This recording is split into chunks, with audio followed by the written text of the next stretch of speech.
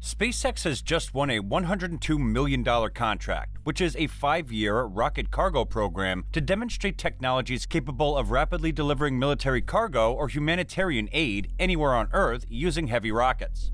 This program is being led by the USAF Research Laboratory, or AFRL, and centers on the use of large commercial rockets for Department of Defense global logistics.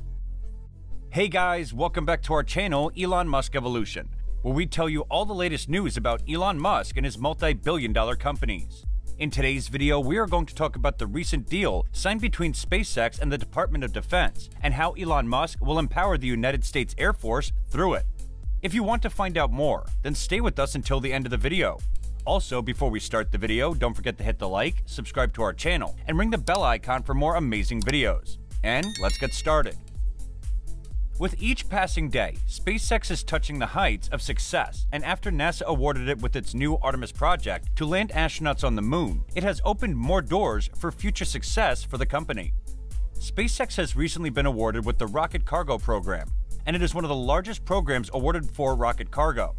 Under this program, the Department of Defense will use SpaceX rockets, specifically its Falcon 9 rocket and Super Heavy, to deliver cargo and humanitarian aid. In addition, AFRL will have access to SpaceX's commercial orbital launches and booster landings to correct key data on environment signatures and performance.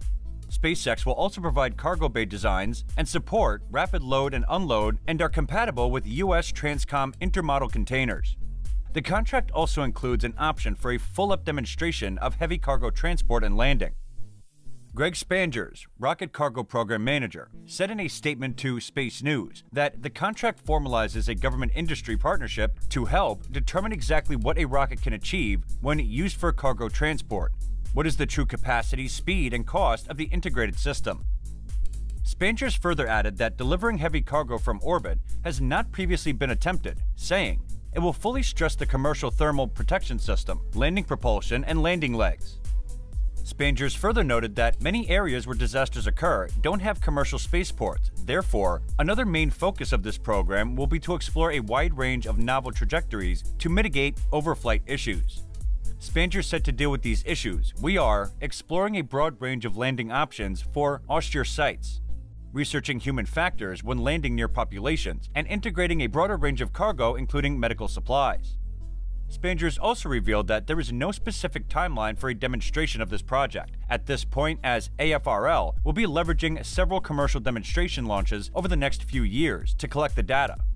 In addition, the Air Force does not drive this schedule, but rather will collect data whenever SpaceX flies relevant missions. According to sources, a full-up demonstration of heavy cargo transport capability to another location on Earth could be attempted in a few years, but that has yet to be decided.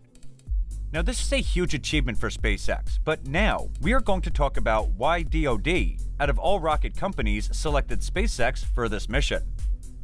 Elon Musk went through many complications during the initial years of the company, as many attempts of launching and testing rockets went into flames and fiery explosions. So, after many failed attempts, the company's first successful landing occurred in the year 2016 on a drone ship in the middle of the ocean. This also was not an easy task, as they failed many times before the successful sea landing. Talking about Elon Musk, one of the world's best CEOs, he has achieved what was thought to be impossible, as he is an innovative and daring person with big dreams. As we know, building rockets is not an easy job because it takes a lot of money and engineering to give life to a single rocket, and it also comes with many risks of failures and explosions. To deal with the issue, reusing the rocket has become a new mission for Elon Musk, and the company has achieved a lot of success perfecting in this particular field of engineering and saving a lot of money. The new ideas of making space flights better and cheaper are increasing. So, one of the major reasons why SpaceX was awarded this project is its new landing method. To understand the new landing concept used in Super Heavy by SpaceX, we first need to understand the Starship and its booster. SpaceX has developed a gigantic rocket booster which will be attached to the Starship spacecraft in order to propel it to space. The Starship spacecraft and the Super Heavy booster are collectively known as the Starship, which is a fully reusable transportation system. It can carry both crew and cargo to Earth's orbit, Mars, and beyond that. With the ability to carry more than 100 metric tons, it will be one of the most amazing space vehicles ever created. Although bringing back boosters for a soft landing near launch pads or drone ships in the middle of the ocean has proven to be impressively successful, catching the Super Heavy after each flight will be even more impressive.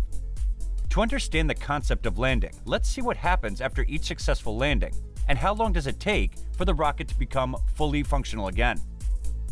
When a rocket comes back to the Earth after landing, it cannot be reused immediately, and it is transported back to the base for maintenance and refurbishments of the internal components.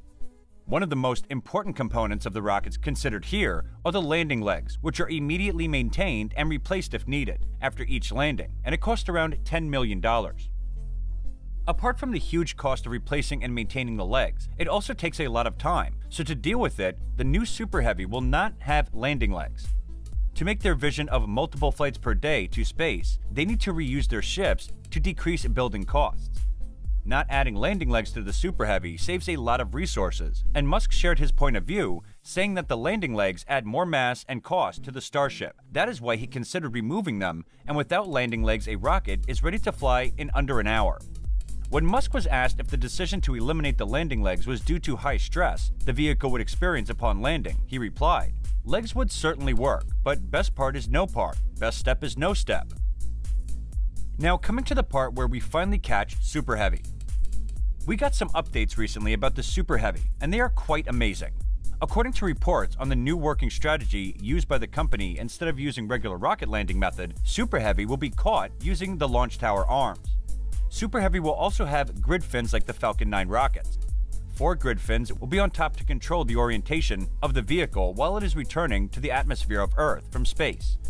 And it will use its Raptor engines to perform a propulsive descent.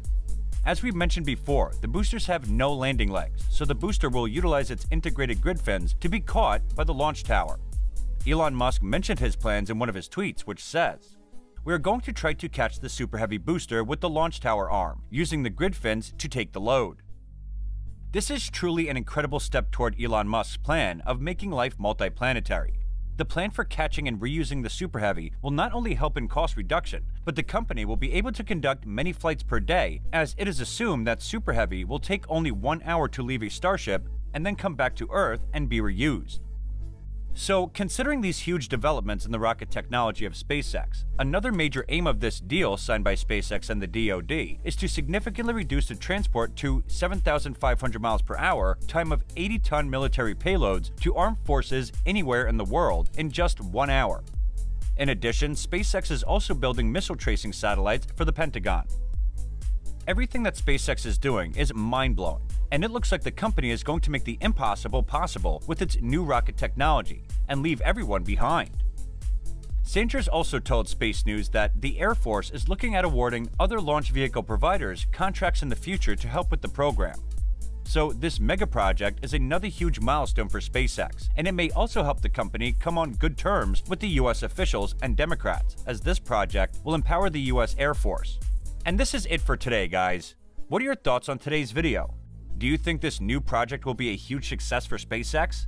And what does this year have in store for SpaceX? Share with us in the comments below, and thank you for watching.